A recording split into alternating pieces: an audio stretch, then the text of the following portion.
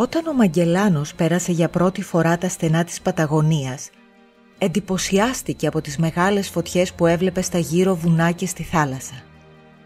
Φωτιές που άναβαν οι γυμνοί ηθαγενείς για να ζεσταθούν. Όμως οι ηθαγενείς Γιαμάνα και άλλες φυλές βρίσκονταν στην Παταγωνία πολύ πριν το Μαγκελάνο, τον Δαρβίνο και τους Ισπανούς κατακτητές. Κατοικούσαν εκεί τουλάχιστον 6.500 χρόνια νωρίτερα και κυνηγούσαν με τα μικρά κανό τους θαλάσσιους ελέφαντες, φώκες και φάλαινες. Για να κρατηθούν ζεστοί, άλυφαν τα σώματά τους με το λίπος από αυτά τα ζώα. Συχνά δε μετέφεραν στα κανό τους μια μικρή φωτιά για επιπλέον ζεστασιά κατά τη διάρκεια του κυνηγιού. Όμως, στις φωτιές της στεριάς μαζεύονταν και έλεγαν ιστορίες για τον δημιουργό τους, για τους γιγάντιους προγόνους τους, για μυστηριώδη φώτα που αιωρούνται, για τεράστια τρομακτικά πουλιά και για παράσιτα του χρόνου που εγκλωβίζουν σε λούπα όποιον τα αντικρίσει. Αυτή είναι η γη του πυρός, γεμάτη από μύθους που έχουν κολαφθεί γύρω από τη ζεστασιά της φωτιάς. Η Παταγωνία χωρίζεται στα δύο από τη μεγαλύτερη οροσυρά του κόσμου, της Άνδης. Το φυσικό σύνορο ανάμεσα στη Χιλή και την Αργεντινή. Οι Άνδης χάνονται μέσα στη θάλασσα του Νότου, σχηματίζοντας δεδαλώδη ναυτικά περάσματα, πλήθος παγετώνων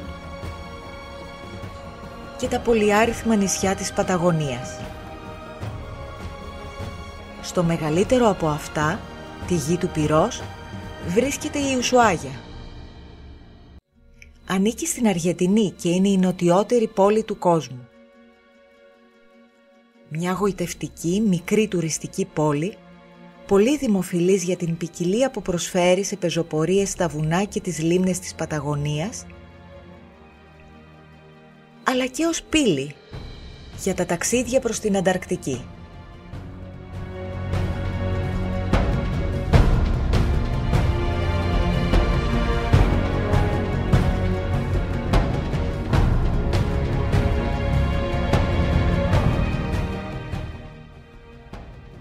Ωστόσο, άκρη του κόσμου θεωρείται το Cape Horn, το νοτιότερο ακροτήρι της Παταγωνίας που ανήκει στη Χιλή. Η πλοήγηση στα επισφαλή νερά γύρω από το ακροτήριο, αλλά και το πέρασμα του Drake προς την Ανταρκτική, αποτελούν τις πιο επικίνδυνες ναυτικές πορείες.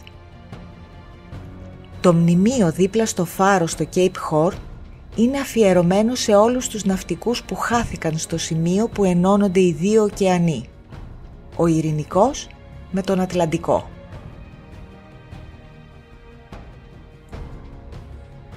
Οι εστάνσιας είναι μεγάλα αγροκτήματα που χρησιμοποιούνται για την εκτροφή προβάτων και άλλων βοηδών και καλύπτουν τις περιοχές των αχανών παταγωνικών πεδιάδων. Στις μέρες μας πολλοί ιδιοκτήτες των ενστάνσιας έχουν ανοίξει τις πόρτες στους τουρίστες που θέλουν να πάρουν μια γεύση για την καθημερινότητα, τον τρόπο ζωής και τις συνήθειες των γκάουτσο. Οι γκάουτσο είναι γνωστοί για τις δεξιότητές τους στην υπασία, τη βαθιά γνώση της γης και τις ιδιαίτερες ικανότητες να επιβιώνουν στις δύσκολες κλιματολογικές συνθήκες της Παταγωνίας. Οι Αργεντίνοι και οι Χιλιανοί ζουν και εργάζονται στην Παταγωνία. Μαζί με τα παιδιά τους φυτεύουν αμπελώνες, βόσκουν κοπάδια, υπηρετούν ναυτικές βάσεις και μάχονται με τις κυβερνήσεις για τα δικαιώματα της γης τους. Χτυπημένοι από δυνατούς ανέμους και τεράστια κύματα, η Παταγωνία μαζί με τους ανθρώπους της στέκει ανάμεσα σε δύο ωκεανούς και αποτελεί τον ιδανικό καμβά για τη φαντασία του ανθρώπου. Χωρίς συγκεκριμένη μορφή ή σχήμα, αλλά με μια μοναδική πλέξη από τοπικούς μύθους και θρηλυκές διαδρομές.